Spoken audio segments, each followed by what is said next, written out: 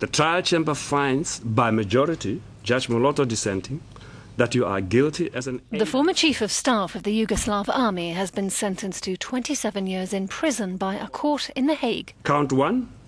Momcilo Perisic had denied all charges of crimes against humanity and war crimes committed in Croatia and Bosnia and Herzegovina in the early 1990s. Experts on the Balkan conflict are interpreting his conviction as a clarification of Belgrade's hitherto officially unclear role mm-hmm. in the fighting in neighbouring countries.